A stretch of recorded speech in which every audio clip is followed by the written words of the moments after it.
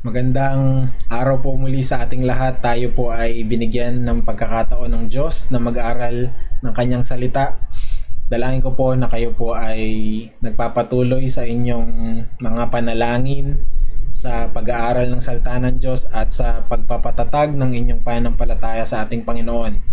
Nung mga nakalipas po na panahon, tayo po ay nag-aral nung mga chapter sa Book of Psalms kung uh, naalala po natin, nadaanan po natin yung chapter 1, chapter 14, chapter 19, chapter 23 at chapter 24. Ngayon naman po, ang aralin po natin ay yung chapter 28. Napakaganda po nung, nung mga verses dito sa chapter 28 kaya maganda talaga na hindi natin to malagpasan.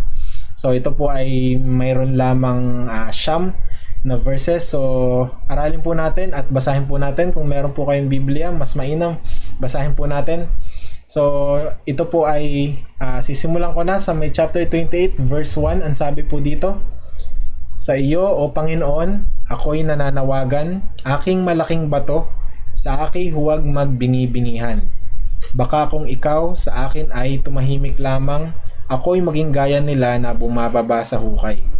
Pakinggan mo ang tinig ng aking karaingan habang ako'y dumaraing ng tulong sa iyo. Habang aking tinataas ang aking mga kamay sa dako ng kabanal-banalang santuario. Huwag mo akong agawing kasama ng masasama na kasama ng mga taong kasamaan ang ginagawa na nagsasalita ng kapayapaan sa kanilang mga kapwa gayong ang nasa kanilang mga puso ay masamang pakana. Ayon sa kanilang gawa, sila'y iyong pagbayarin at ayon sa kasamaan ng kanilang mga gawain, gantihan mo sila ng ayon sa gawa ng kanilang mga kamay. Ang karampatang ganti sa kanila ay ibigay. Verse 5, sapagkat ang mga gawa ng Panginoon ay hindi nila pinapahalagahan, ni ang mga gawa ng kanyang mga kamay. Kanyang ibabagsak sila at hindi na sila itatayo kailanman. Ang Panginoon ay purihin sapagkat narinig niya ang tinig ng aking mga daing. Ang Panginoon ang aking lakas at aking kalasag. Sa Kanya ang aking puso ay nagtitiwala. Kaya't ako'y natutulungan at ang aking puso ay nagagalak. At sa pamamagitan ng aking awit, ako sa Kanya'y nagpapasalamat. Ang Panginoon ang lakas ng Kanyang bayan. Siya ang nagliligtas sa kanlungan ng Kanyang pinahiran. Iligtas mo ang iyong bayan at ang iyong pamana ay basbasan. Maging pastol ka nila at buhatin mo sila magpakailanman. Ito po ang salita ng ating Panginoon. So, napakaganda po nung, nung chapter na to at uh, mabuti po na aralin natin at itignan natin mabuti kung paano natin ma-relate sa ating buhay sa mga kaganapan natin sa panahon natin ngayon at kung paano tayo papatatagin nito sa ating panampalataya. So dito makikita po natin yung pagkasulat ni David ni David ay uh, sinusulat niya na merong siyang ano uh, seryosong emosyon ano. At ito po ay uh, isang uri ng panalangin. So makikita natin sa mga headings kung meron kayong mga Bible lalo na sa sa, sa siguro NIV makikita niyan eh. O kaya sa ibang mga translation mapapansin nyo ito po ay nakalagay awit ni David o ano Psalm of David. So dito makikita natin kung paano siya tumatawag sa Diyos.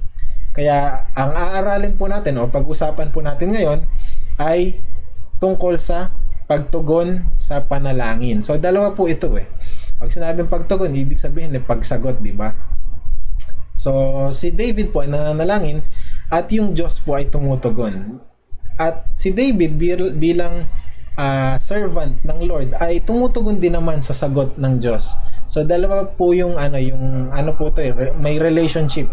So dalawa po lagi pag sa communication lagi po dalawa yan eh. Laging meron sagutan. So aralin po natin yung pagtugon sa panalangin, yung tungkol sa pagtugon sa Diyos at pagtugon naman ng tao doon sa sagot ng Diyos. So bago po tayo uh, magsimula nung ating pag-aralan, tayo po ay humingi ng gabay sa ating Panginoon. Tayo po ay manalangin.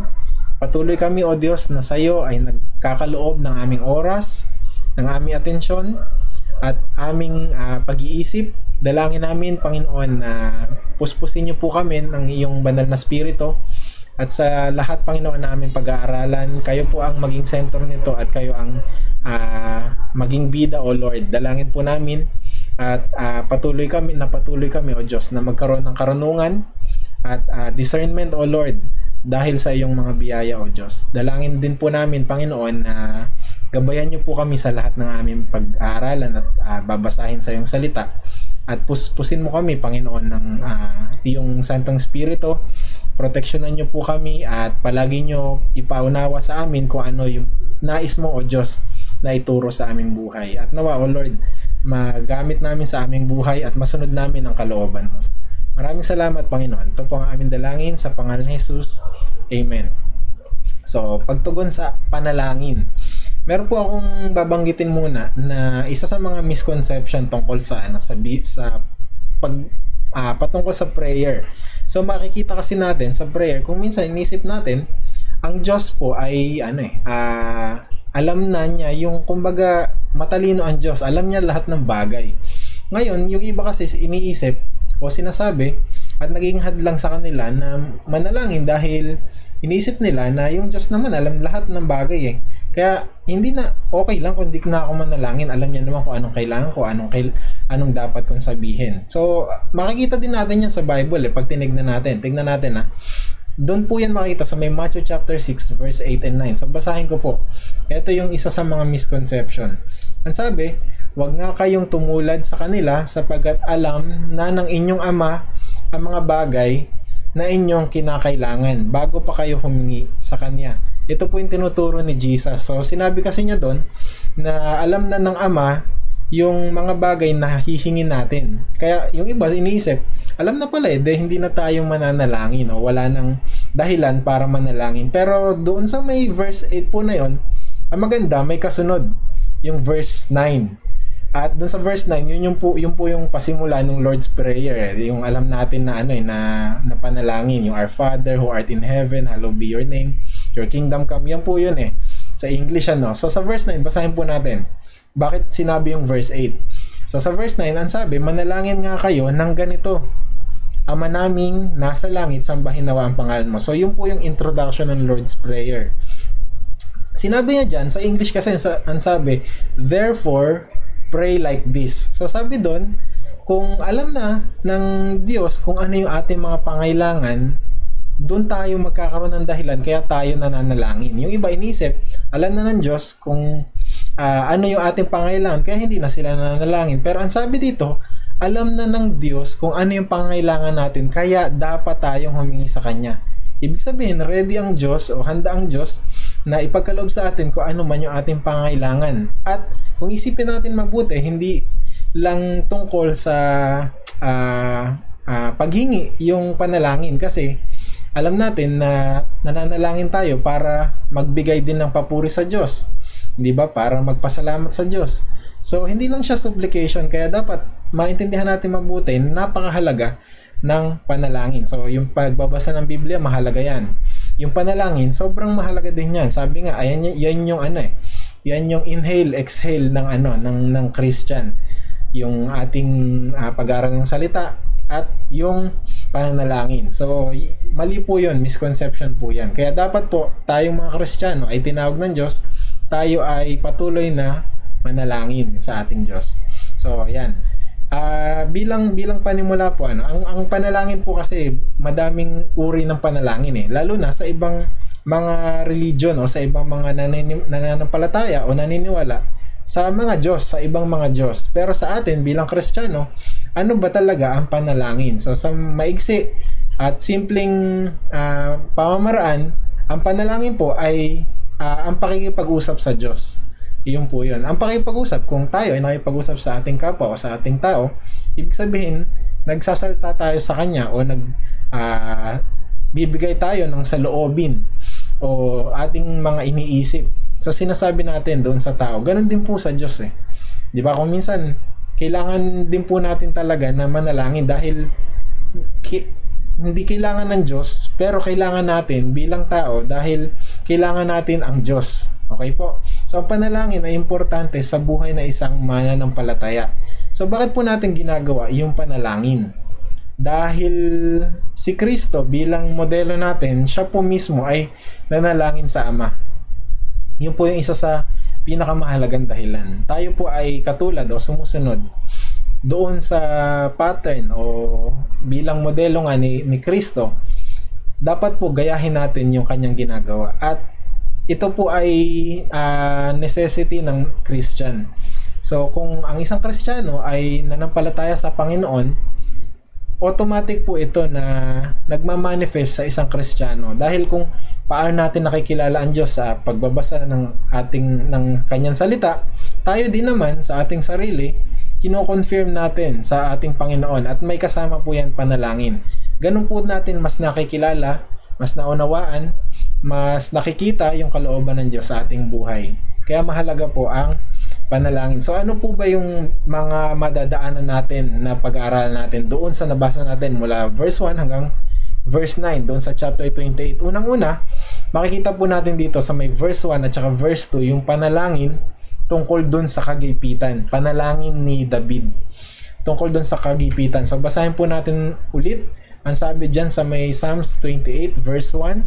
Sa iyo, O Panginoon, ako'y nananawagan, aking malaking bato sa akin huwag magbingi-bingihan, baka kung ikaw sa akin ay tumahimik, lamang ako'y maging gaya nila na bumababa sa hukay. So dito, makikita po natin merong urgency o parang pagmamadali yung panalangin ni, ni, ni David. Parang kumbaga merong nagbabanta sa kanyang buhay dahil sabi niya dito, kung magbingi-bingihan daw ang Diyos, maaring bumaba siya sa hukay, ma- maaring maging, yun yung maging kanyang kamatayan. Kaya meron ditong parang pagbabanta eh. So sabi sa ibang mga commentary, ito ay nasulat, maaring nasulat nung si David ay hinahunting ni ano ni ni Saul. At yung iba naman sinasabi na ito daw ay nasulat bago daw itayo yung yung temple or after itayo yung temple. So madaming mga iba't ibang uh, studies kung kailan ito isinulat ni ano ni David. Pero dito malinaw makikita natin na sa umpisa pa lang, kinikilala niya yung Panginoon. So sabi niya, ako'y nananawagan. Siya ay tumatawag sa Diyos, sabi. Yung, yung Panginoon na aking malaking bato. So dito mapapansin natin o makikita natin sa Psalms chapter 28 na si David ay dependent talaga sa sa Diyos. Okay, so talagang kumbaga kung hanggat kaya niya na magpapansin sa Diyos, gagawin niya. Makikita po ninyo yan sa buong sa buong Psalms eh. 'Di ba? Ako nga dati na, nabasa ko na 'yung Psalms ng isang beses.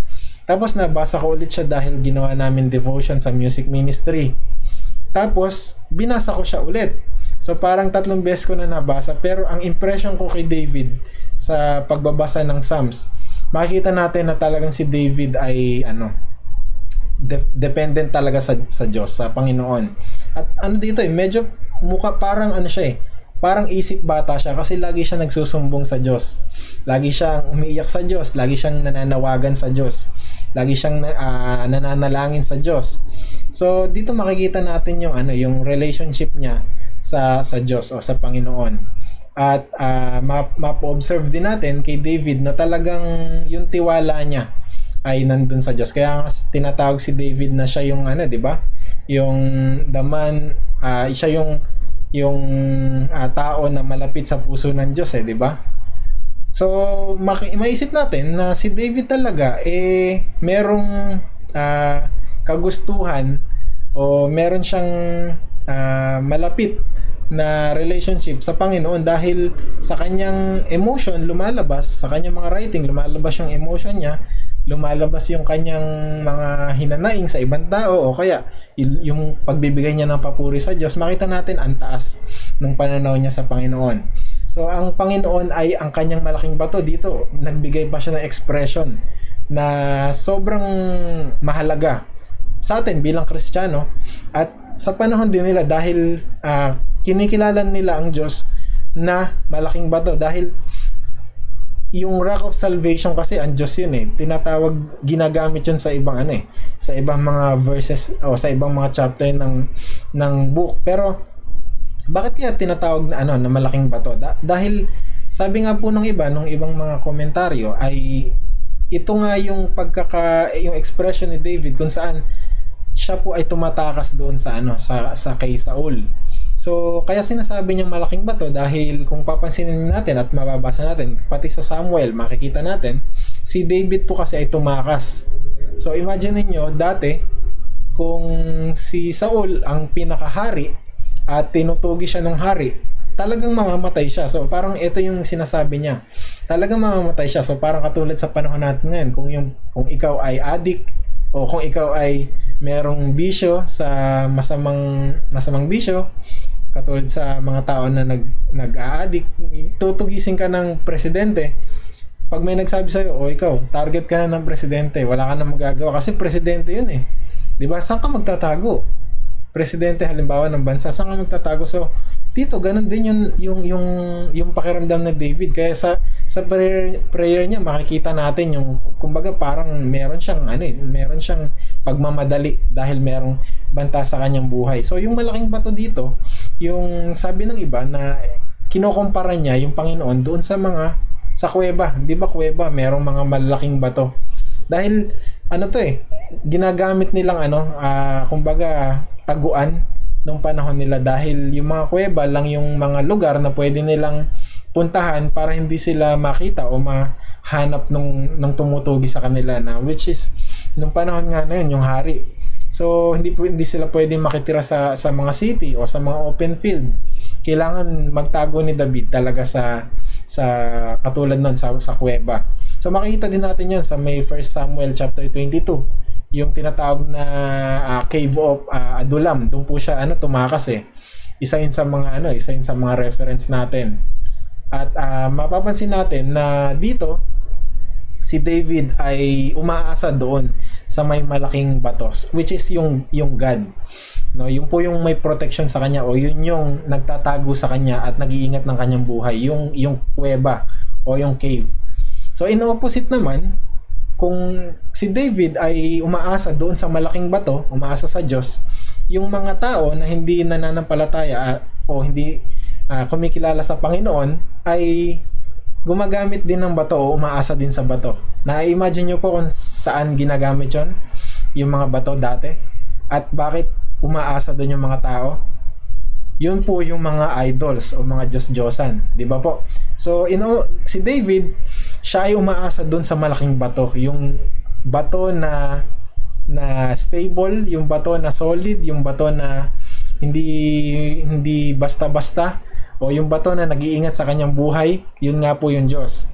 In opposite naman, yung mga pagan o mga tao na hindi nananampalat na nanampalataya sa Diyos, umaasa sa bato na Diyos-Diyosan. Ito yung mga bato na nilikha ng tao o ginawa nila na uh, Panginoon sa kanilang buhay. So makikita natin sa may verse 1 na yung Panginoon ay yung totoong bato na maaasahan. Hindi yung mga Diyos-Diyosan. Yan po yung mga parang pananaw diyan doon sa ano sa sa may uh, verse 1. Sa verse 2, ang sabi naman, pakinggan mo ang tinig ng aking karaingan habang ako'y dumaraing ng tulong sa iyo habang aking itinataas ang aking kamay sa dako ng kabanal-banalang santuario. So ito yung kanina ko pong nabanggit sa inyo na yung ibang sinasabi, ito daw yung ano, ito daw yung nagpa-practice daw si David ng ano ng ng worship doon sa sanctuary. Ito yung parang temple kasi nagkaroon kasi sila ng temple eh. Pero hindi ito na-achieve sa panahon ni David ang nag at nag uh, tayo po noon yung si Solomon. Pero madami din nagsasabi na hindi ito yung ano, hindi hindi yun yung templo na pinatayo ni Solomon. Yung expression niya dito sa may verse 2 ay expression niya na, na kumbaga prophetic. Nakikita niya na yung Diyos talaga yung ano yung yung kanyang uh, kaligtasan kaya sinasabi niya na siya ay nagtataas ng kamay doon sa dako ng kabanal-banalang santuario. So ang ibig sabihin lang nito na si David ay umaasa sa sagot ng Diyos. Kaya sabi niya diyan, pakinggan mo ang tinig ng aking karaingan. 'Di ba? So ano po 'yan eh. Sinasabi nga din po diyan sa may kalahati ng verse na 'yan na yung pagtaas ng kamay ni David ay kinukumpara doon sa panalangin na may kasamang papuri. Hindi ba? Pag tayo ay nagpapasalamat, nagpupuri sa Diyos at ah, sama-sama tayo nag meron tayong fellowship o sa church service natin pag tayo ay kumakanta. Uh, minsan tumataas tayo ng kamay, nagtataas tayo ng papuri. Ano yan eh? Gesture. Gesture ng ating uh, worship sa ating Panginoon. So, kumbaga, yung sinasabi niya, siya ay nananalangin na may kasamang papuri. 'Di ba? O pagsamba sa Diyos. Yan po yung panalangin na may kasamang uh, pagtanggap, 'di ba? Kung, kung isipin natin yung mga tao na nagtataas ng kamay, ay yan po yung mga tao na gustong tumanggap. Tama po. Na makikita po ninyo yan saan? Sa mga pulubi, hindi ba? Kung paano ang pulubi ay nagaangat ng kamay pag siya ay uh, tatanggap nung uh, bagay na nag na ibi pagkakalob o ibibigay sa kanya, itinataas niya ang kamay. 'Yun ang sinasabi, sinasabi katulad siya si David ay katulad ng parang isang pulubi na naghahangad ng kasagutan o pagtanggap sa Diyos. Parang isang pulubi daw. Pero meron pang isa, meron pa ako na imagine na isa na uh, nagtataas ng kamay. Alam niyo po kung ano yun? Yung po yung sanggol. Di ba? Pagka nakakita kayo nung, nung sanggol o bata pa lang na unti-unti natututong maglakad o kaya uh, natututo na makilala niya kung sino yung kanyang magulang, di ba? Pagka nawawala yung magulang, tapos nakita niya tumataas siya ng kamay, o kaya pagbubuhatin siya, alam niya na kagad yung gagawin niya. Yung pa lang yung mga konting bagay na alam nung ano eh, nung bata eh. So, nakikita niya kapag ka nandyan ay nanay niya, kapag nandyan ay tatay niya, inaangat niya yung kanyang kamay. So, sabi doon, kung paano ang sanggol ay nagaangat ng kanyang kamay, ganun din yung nagnanais si David doon sa kanyang panalangin na ang Diyos ay sumagot sa kanya. So napakaganda po nito na ano na comparison ano. So tayo ba humingi sa Diyos at lumalapit katulad ng isang tao na desperado sa sagot ng Diyos. So titignan po natin ano, isipin po natin mabuti gaano kaya tayo kasidhi sa ating panalangin, di ba? Yung lalim na na. Gaano tayo uh, nangangailangan ng sagot ng Diyos. Gaano tayo kadesperado sa ating panalangin kung tayo ay nananalangin sa Diyos o kung tayo ay may uh, uh, uh, nais na makuha o masagot sa ating buhay. 'Di ba? Sa oras ng kagipitan, ang ang uh, ang Diyos ang dapat natin asahan. Hindi hindi ang ating kapwa. So kung iisipin din natin ano, kung minsan sa ibang bagay tayo nagtataas ng ating kamay. Pero alahanin natin mabuti na ang Diyos ay sumasagot sa bawat panalangin ng ating uh, itinataas sa Kanya. At syempre sa pagsagot naman ng ating Panginoon, alam naman natin, 'di ba? Kung minsan sumasagot siya ng oo o yes, minsan naman hindi. No, pero kung minsan sumasagot siya ng wait o sandali, sandali lang. Pero ang pinakamagandang isipin, ang Diyos ay sumasagot sa ating panalangin. Tama po. So isipin nating mabuti lagi na hindi tayo aasa sa ating sarili, sa ating kapwa, kundi i-focus natin yung pag-iisip natin at isipin natin mabuti na ang Panginoon ay sumasagot sa, kany- sa panalangin ng kanyang mga anak. Mahirap manalangin na wala kang inaasahan dahil para saan pa naman nanalangin tayo kung hindi tayo umaasa na ang Diyos ay sasagot sa ating panalangin. Walang, walang sense ang isang tao na manalangin pero walang inaasahan. Pero dahil alam natin na ang Diyos ay buhay, ang Diyos yung ating tanggulan, yung ating malaking bato, yung Diyos na ating maasahan, doon po tayo magkaloob ng uh, panalangin sa Kanya. So sa pangalawa, makita din natin sa may verse 3 hanggang verse 5 yung pagtatanggol laban sa kasamaan. So ano ba yung sinasabi dito sa may verse 3 at saka verse 5 na dapat uh, maaral natin? Basahin po natin sa may verse 3. Tingnan natin saan sabi, Huwag mo akong agawing kasama ng masasama na kasama ng mga taong kasamaan ng ginagawa na nagsasalita ng kapayapaan sa kanilang mga kapwa. Gayong ang nasa ng kanilang mga puso ay masamang pakana. Nais ni David na ihuwalay siya sa mga masama. Ito po yung sinasabi niya dito. Mga mga tao po 'yan na ano eh, na manloloko, sinungaling. Tayo po, kung tayo ay Kristiyano, dapat alam natin saan tayo puposisyon. Okay? Ito po yung napakahalaga. Dito si David, alam niya kung saan siya puposisyon eh. Alam niya sino sasamahan eh. at saka iiwasan. Pero minsan, mga Christian, sumasama pa sa mga manginginom. Hindi naman siya uminom, pero sumasama sa mga manginginom. Kaya later on, nagiging manginginom na din. Sumasama sa mga nagbibisyo. Hindi naman siya nagbibisyo, pero dahil doon sa sinasamahan niya ay uh, na-influensyahan siya ng mga ganong bagay. So dito makikita makikita ng nagbabasa na si David alam niya talaga kung saan siya pumapanig. So alam ni David yung kahihinatnan ng kanilang buhay. So ayaw niyang matulad dun sa mga tao na masama. Dapat matalino din po tayo kung saan tayo sasama. At uh, alam din natin kung paano tayo kikilos sa ating buhay at kung paano tayo magdidesisyon. Dapat makita natin yung sarili natin na nandun tayo sa panig ng Diyos, hindi doon sa panig ng Panginoon. Kaya ya, sa o sa panig ng masama. Kaya yan po yung ano eh. Yan po yung panalangin ni David. Sabi niya, "Huwag mo akong agawing kasama ng masama." 'Di ba?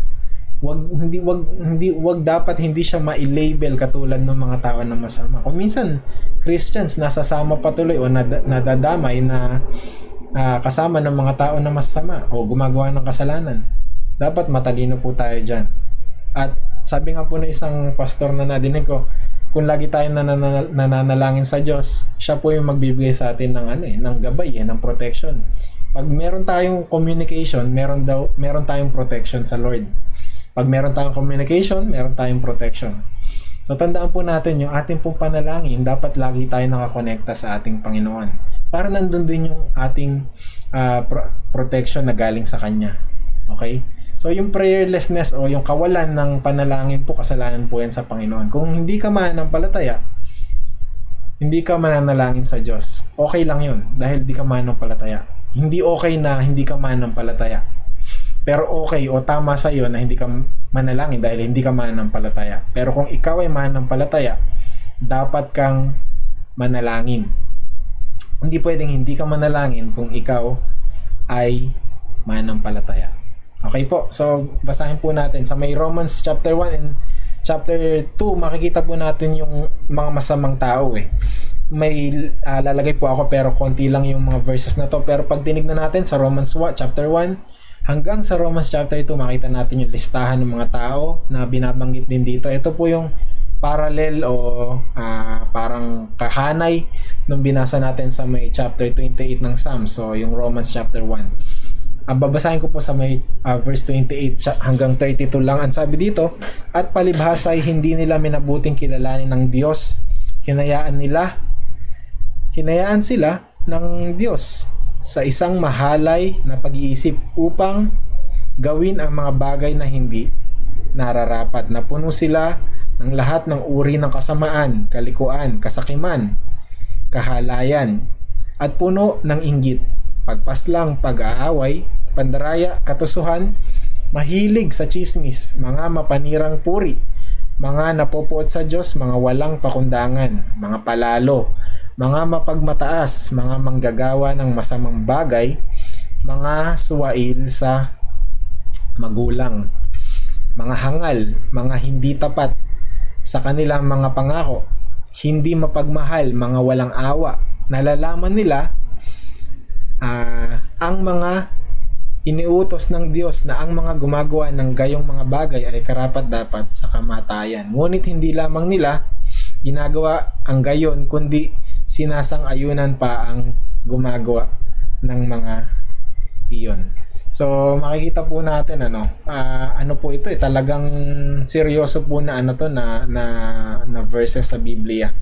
Makikita natin dito yung ano yung pagkakaiba ng mga tao na mapapahamak at mga tao na sumusunod sa Diyos. Si David, alam po niya yung ano, yung kung ano yung kanyang magiging kakahinatnan dahil alam niya na siya ay nasa Diyos. Dapat tayo din, alam natin na nasa Diyos po tayo.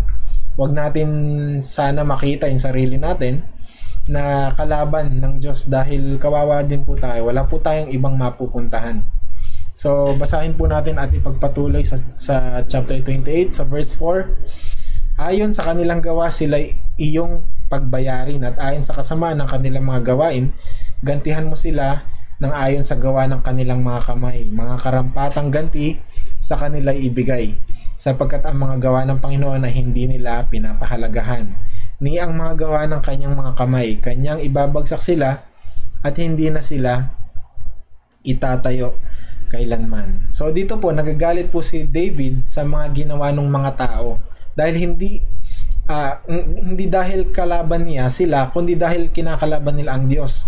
So sabi ko nga kanina, di ba, malapit sa Diyos si David. Siyempre magagalit din siya dun sa mga ginagawa ng mga tao dahil hindi nila binibigyan ng respeto, hindi nila binibigyan ng galang ang Panginoon katulad ng mga nasa listahan ng mga kasalanan na yon, nagpapatuloy sila dun sa kanilang kasalanan. So, paparusahan ang mga uh, walang pakialam sa Diyos. Yun po yung sigurado.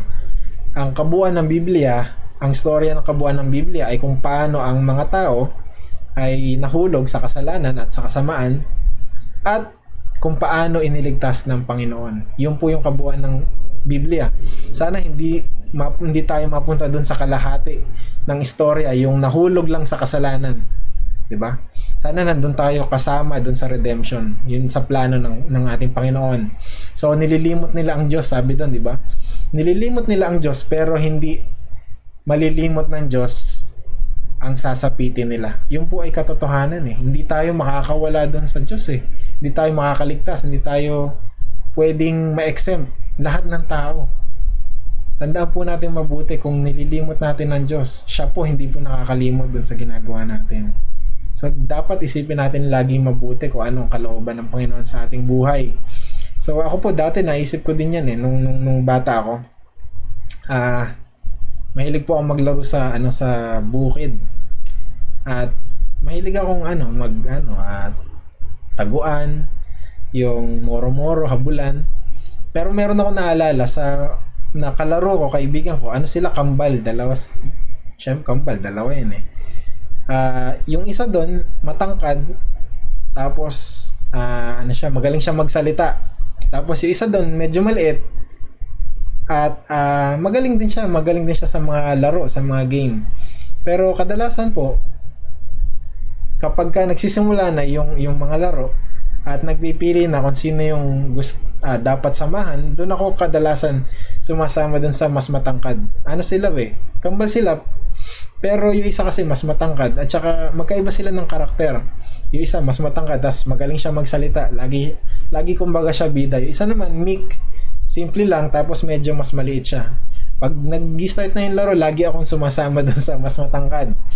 At uh, magaling uh, gumawa ng depensa o magaling gumawa ng ano ng ng paliwanag pagka sa, sa mga laro. So kapag naglalaro kami ng moro-moro, alam ko lagi na kapag sumali ko sa kanya, mas malaki chance na manalo kami. At alam niyo po yung moro-moro, di ba? Kunyari, minsan pag nataya ka, dadaling ka dun sa parang kampo ng kalaban, tapos hindi ka na makapaglaro. Siyempre, bilang bata, gusto mo laging maglaro. Pero since dun ako sumasali o pumapanig dun sa isang kambal na yon na matangkad at saka laging magaling siya magsalita, lagi po ako nasa-save. Sinesave niya ako lagi. So nakapaglaro ulit ako, nakakatakbo ulit. Hanggang sa mataya ulit ako. Tapos isa-save niya ulit ako. Lagi niya ako nasa-save. Dahil uh, siya yung kumbaga pag sa amin sa mga kabataan na naglalaro, siya yung laging uh, magdedepensa sa iyo.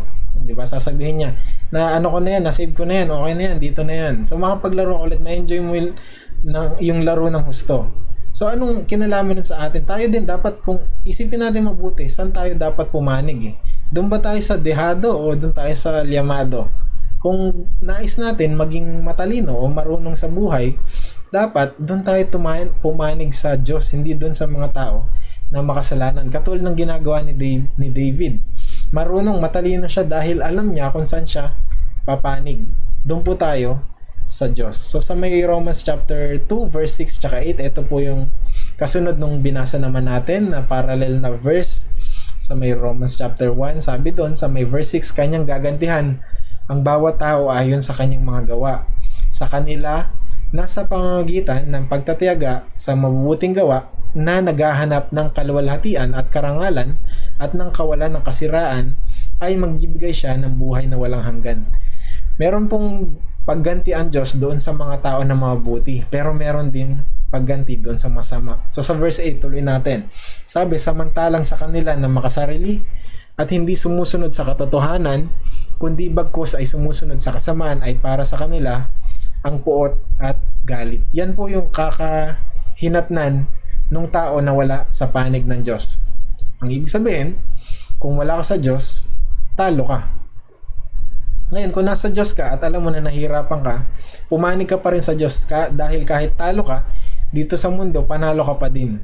Dahil dun sa pinagka, pinagkakalob ng Diyos na buhay na walang hanggan. At maaring dito sa buhay din natin sa lupa, tayo ay bibigyan ng pagkakalooban ng ating Panginoon. Pero ang ating talaga inspiration, ang, ang pananaw natin at kung saan nakatuon ang ating pag-iisip at ang ating buhay doon sa buhay o doon sa kapayapaan, doon sa pag-asa na pinagkakaloob lang ng ating Panginoon. Huwag po tayong pumanig doon sa laban sa sa Diyos kundi pumanig tayo sa Panginoon. Ang Diyos ang magtatanggol sa atin kung tayo ay uh, panig sa Kanya. Ngunit kung hindi tayo panig sa Kanya, walang makapagliligtas sa atin laban sa Kanya.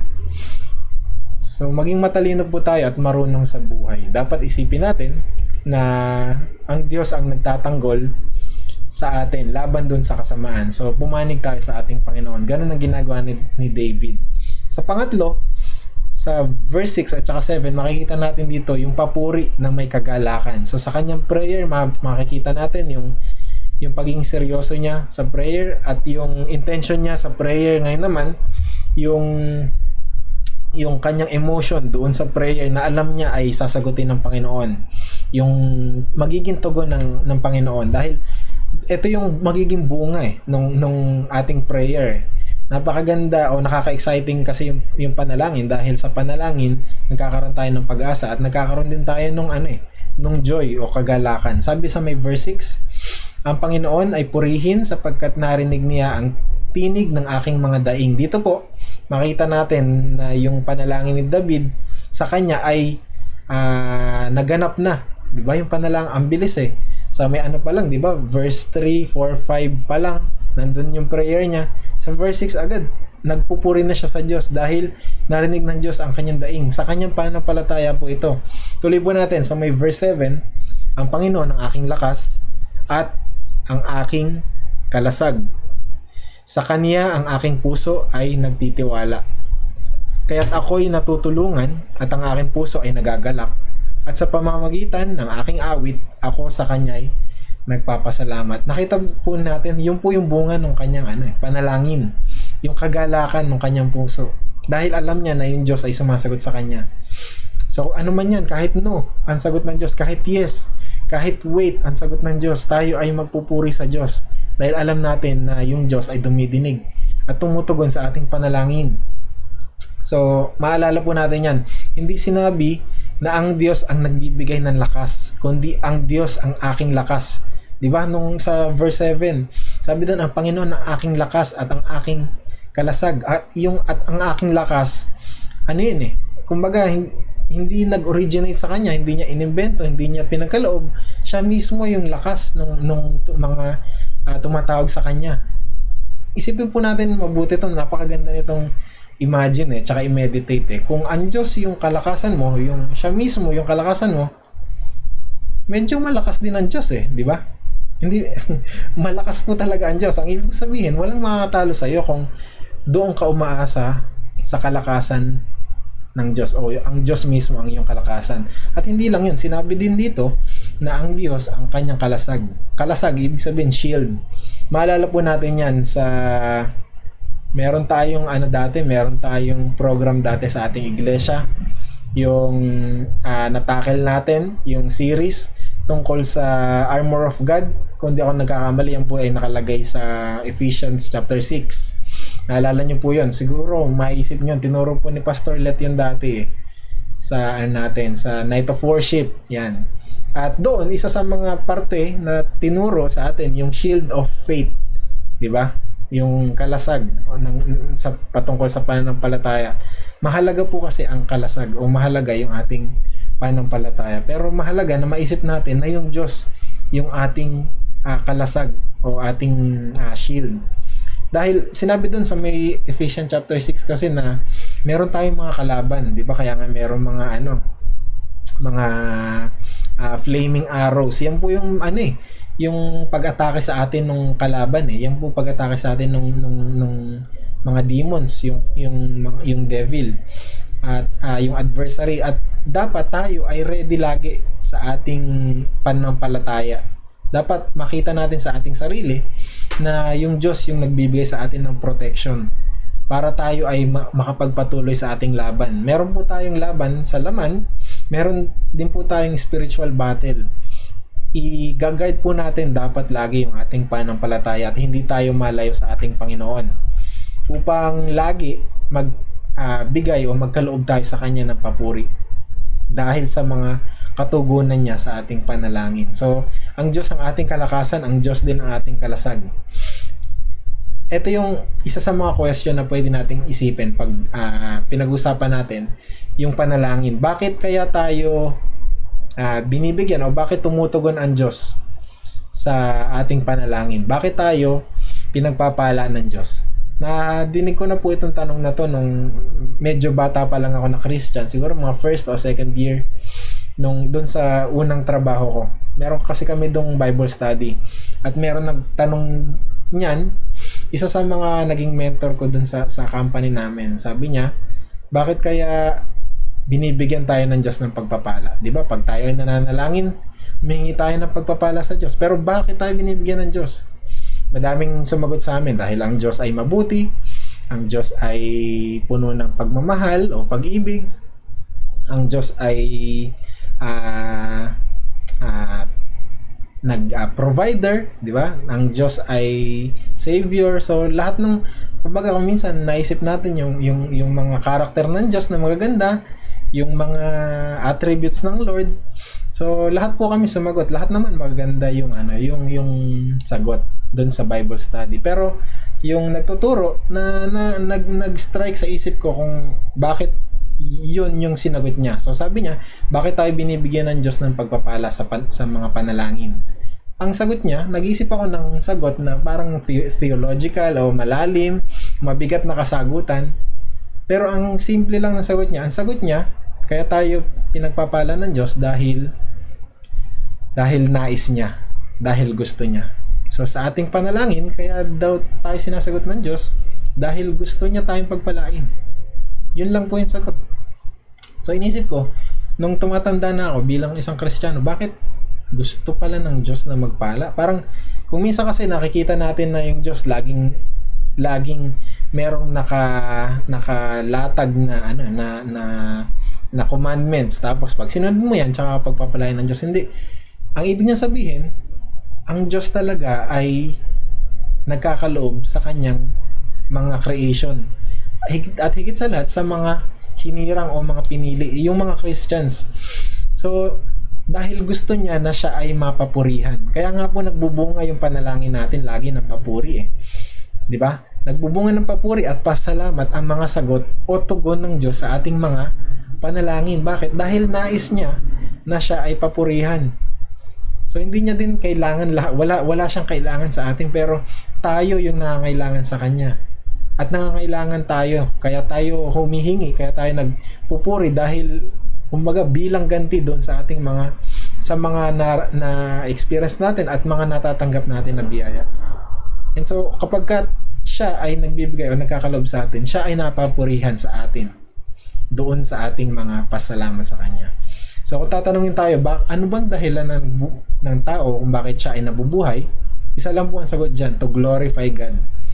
So tayo ay nabubuhay para madakila ang Diyos. At kung tayo ay nananalangin at sinasagot ng Diyos yung ating panalangin dahil gusto niya tayo nasagutin o gusto niya tayong uh, bigyan ng kanyang mga biyaya. Ibig sabihin, tayo ay uh, nagpapasalamat sa kanya at gino-glorify natin siya. And so, doon sa sa sa makita natin na cycle doon sa pagkakalob ng Diyos, tapos pagtanggap ng tao, magpapasalamat ang tao, magkakalob ulit ang Diyos, tapos mananalangin yung tao, tatanggap ang tao, tapos mana, papasalamat ulit ang Diyos. Makikita natin na dito nadadakila ang Diyos. 'Di ba? Sabi nga sa may 1 Corinthians chapter 10, Verse 31, Kaya kung kayo man ay kumakain, umiinom, o ano man ang inyong ginagawa, gawin ninyo ang lahat sa ikaluluwalhati ng Diyos.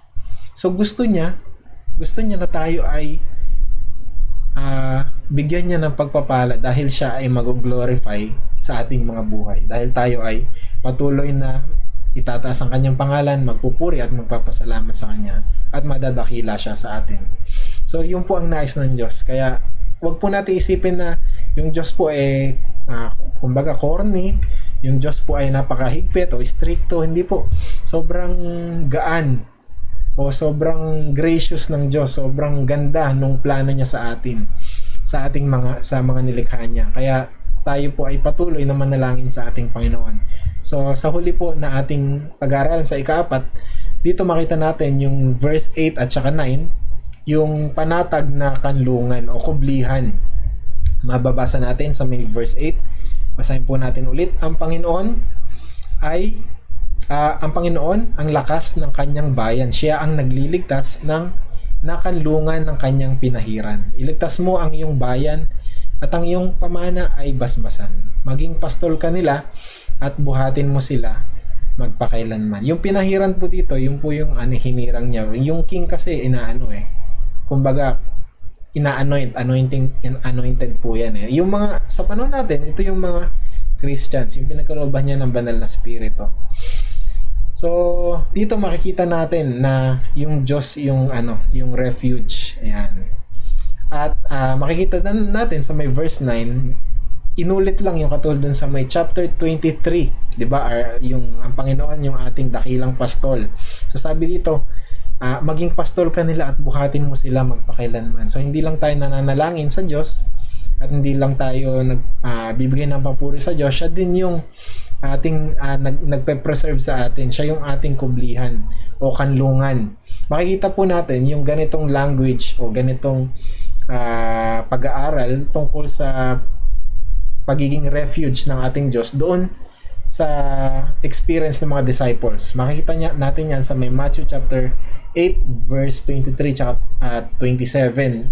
Diyan po, yan po yung ano, eh, Jesus calmed the storm. Yan po yung pinatigil ng Diyos yung yung yung alon at saka yung bagyo. 'Di ba? Ma sa story, natutulog ang Diyos o natutulog si Kristo So, sabi nung disciple nung na pag uh, diskusyon na nila na gisingin si Jesus. So, sabi ni sabi nung isa, Panginoon, hindi po ba kayo nababagabag dahil uh, merong bagyo o lulubog po tayo? So, sabi ni Jesus, tumigil. At uh, tumigil po yung bagyo at saka yung ano, yung yung mga alon. Tapos sinabi niya yung isang isa sa mga mga pinaka masakit na tanong o pinaka seryosong tanong na pwedeng itanong sa atin maari ng Diyos, hindi ba? O ni Jesus. Sabi niya doon sa may verse 26, bakit kayo natatakot o kayong maliliit ang panampalataya? So sa kanila, hindi nila na naranasan nila o nakita nila yung mga problema. Nakikita nila na parang hindi tumutugon ang Diyos. Pero yung Diyos nandun lang sa kanila. Dahil wala silang o meron silang maliliit na panampalataya. Hindi nila na kita nakasama nila yung pinaka protection nila, yung pinaka kung saan nagmumula yung yung yung uh, kanilang safety, yung kanlungan, yung kublihan nandun kasama nila. Hindi po nila yung naisip. So, tandaan po nating mabuti na tayo po ay pinakaloban ng Diyos ng uh, protection, yung divine protection niya, pinagkakaloban niya tayo ng guidance, yung uh, pagtulong niya sa atin lalo na pagdating sa sa discernment yung uh, paggawa natin ng mga sa mga decision making natin. So lagi pong nandun ang Diyos sa atin. Siya po yung ating kublihan. Kaya po siya po yung deserving na ating tawagan pag po tayo ay mayroong problema. Lagi po natin sa isip natin mabuti na yung Diyos ay handa po sa atin na tumulong So, meron po makikita natin yung panalangin tungkol sa kag- kagipitan tayo kung tayo ay nagigipit. Ganun din po na experience ni David. At kung tayo ay nakakaranas ng persecution o kaya ng, ng uh, experience tungkol sa ibang mga tao, ang Diyos po yung nagtatanggol laban doon sa kasamaan. At patungkol doon sa ating panalangin, tayo po ay nagkakaroon ng kagalakan at papuri sa Diyos. Uh, higit sa lahat, pine-preserve niya po tayo at tayo ay nagiging panatag uh, dahil siya yung ating kanlungan o kublihan. Tandaan po natin mabuti na ang Panginoon ay handa po sa ating sumugot at tumugon sa lahat ng ating mga panalangin. Bilang pagtatapos po, anuman ang ating panalangin ng Diyos ay maasahan natin lagi sa kanyang uh, pagtugon. Hayaan natin na siya ang ating maging kalakasan, kublihan, kalasag, kagalakan, tagapagligtas at mabuting pastol habang tayo ay nagpapatuloy sa ating pagsunod. Manatili sa panampalataya at sa kanyang mga biyaya. Tandaan natin mabuti, tayo ay mga Kristiyano at tinawag ng Panginoon. Tayo ay maglagak ng ating sarili at ang ating buhay ay i-offer natin o ipagkaloob natin sa Kanya ng buo. At tayo ay tatanggap ng uh, mabuti, tayo ay magkakaroon ng magandang buhay lalo na sa ating hinaharap. At magiging ligtas tayo doon sa anumang uri ng kasamaan na maaaring pumasok sa ating buhay. Patuloy tayo na maging matatag sa ating panampalataya at lagi natin isa puso na ang Diyos ay handang tumugon sa ating panalangin. Tayo po ay manalangin. Maraming salamat o Diyos. Maraming salamat sa iyong salita, sa patuloy mo Panginoon na pag-ibig, sa patuloy mo na kalakasan na binibigay sa amin. Maraming salamat o Diyos sa karunungan at sa guidance mo sa amin, sa wisdom o Lord. Maraming salamat sa malaking pribilehiyo na kami ay nakakapagbukas, nakakapagbasa, nakapag-aral ng iyong salita. Patuloy nyo kami bigyan ng malalim na pangunawa at gabahin nyo po kami dito sa aming journey na kami po ay nag-aaral ng iyong salita at uh, nawa o Diyos, hayaan mo na kami ay maging uh, mas mapalapit sa iyo at mas makilala ka namin sa paraan na nais mo. Nawa Panginoon, i-build mo po Panginoon yung aming character o Lord at i-build mo Panginoon yung aming buhay bilang isang maganda na testimony o Lord. Patuloy mo kami na makita na nananampalataya sa iyo at masigasig sa aming paglilingkod sa iyo. O Diyos, dalangin namin na patuloy nyo kaming samahan sa lahat ng aming ginagawa. Nawa, sa aming buhay, ikaw ay mapapurihan, mabigyan namin ng pinakamataas na kaluwalhatian at kadakilaan, Panginoon. Maraming salamat, O Diyos. Ito po ang aming dalangin sa tangi at makapangyarihan pangalan ng aming Panginoong Hesus. Amen. Amen. Maraming salamat po. To God be the glory.